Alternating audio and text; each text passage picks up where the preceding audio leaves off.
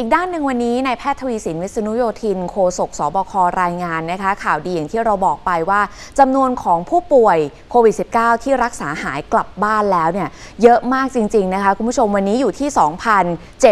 2,787 คนค่ะ เดี๋ยวเราพาไปดูกันหน่อยเพราะว่ามีคู่รักคนบันเทิงค่ะณแมทธิว คุณลิเดียก็เป็นผู้ที่หายป่วยจากโควิด -19 เป็นที่เรียบร้อยแล้วนะคะ เมื่อวานนี้ Facebook ของศูนย์บริการโลหิตแห่งชาติสภากาชาติไทย เผยแพร่ภาพที่น่าชื่นชมนะคะทั้งสองคนเนี่ยเดินทางกลับไปที่สภากาชาติไทยค่ะ ไปเพื่อที่จะร่วมเป็นส่วนหนึ่งในการบริจาคพลาสมาช่วยเหลือผู้ป่วยโควิด -19 ต่อไปนั่นเองนะคะ นี่เป็นสิ่งที่ทั้งคู่นั้นตั้งใจทำแต่ว่าปรากฏว่าคุณลิเดียน้ำหนักไม่ถึงค่ะ ก็เลยได้แต่ให้กำลังใจสามีนั่นเองนะคะเนี่ยแหละค่ะคุณผู้ชมคะเมื่อวานนี้ Facebook ศูนย์บริการโลหิตแห่งชาติสภากาชาติไทย ได้รายงานว่าทั้งคุณแมทธิวดีน และคุณลีเดียสรันรัตน์ภรรยานะคะ เดินทางไป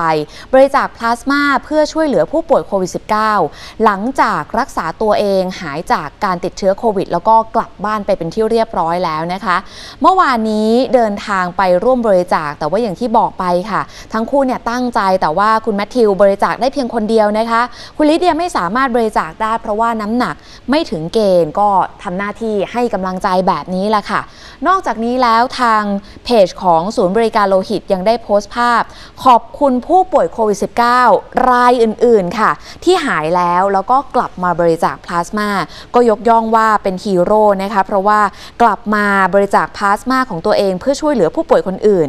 ขณะเดียวกันก็ยังเชิญชวนผู้ที่หายแล้ว และมีคุณสมบัติตรงตามเกณฑ์ ให้ร่วมกันลงทะเบียนออนไลน์ เพื่อบริจาคพลาสมาด้วยนะคะทางศูนย์บริการโลหิตก็ยังรออยู่ค่ะ คุณผู้ชมที่เป็นผู้ป่วยโควิด -19 และรักษาหายแล้วนะคะ ติดตามสอบถามรายละเอียดเพิ่มเติมได้ได้ที่หมายเลขโทรศัพท์ 022564300 ค่ะ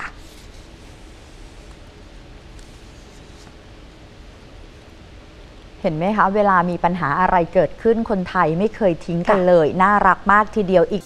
ขอบคุณที่ติดตาม TNN ช่อง 16 ค่ะ อย่าลืมนะคะ ถ้าหากไม่อยากพลาดการติดตาม กด subscribe และกดกระดิ่ง เพราะว่าเรายังมีวิดีโอที่น่าสนใจ รอคุณผู้ชมอยู่อีกมากมายค่ะ และยังมีอีกหนึ่งช่องทางรับชมได้แบบสดๆ ทาง Facebook TNN Live นะคะ นอกจากนี้แล้วยังมีอีกหลากหลายช่องทางติดตามกันได้แบบง่ายๆ เพียงแค่คลิกไปดูลิงก์ที่วิดีโอด้านล่างนี้ค่ะ